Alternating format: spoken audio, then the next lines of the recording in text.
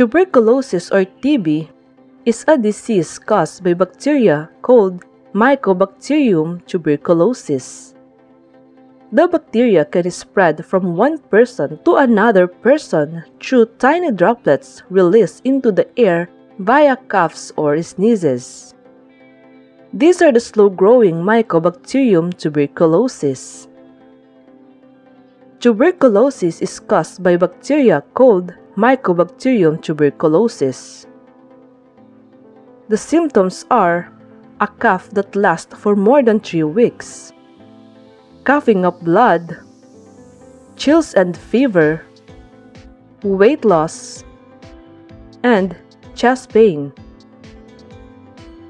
Physical distancing, good ventilation, and good hygiene are the prevention.